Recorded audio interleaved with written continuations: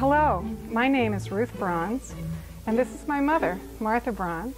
We are the creators of Things for Strings bow accessories for beginners.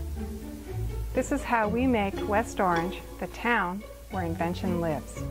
Hi, I'm Martha Brons. I have been teaching and performing cello since before my daughter was born. In our teaching, we know that students who enjoy a beautiful tone must have soft, relaxed bow holds. Too often, in spite of everyone's best efforts, this is just not easy for beginning players. This is why I was so excited. After a hard week of correcting bow holds in my studio, an idea for a solution came to me. Ruth called me on her cell phone. She was so excited. She said, Mom, I think I have a solution for the violin bow hold problem. She said that they could be in cute animal shapes that kids would love that would also stabilize and relax their hands. I told her we need this for cello too.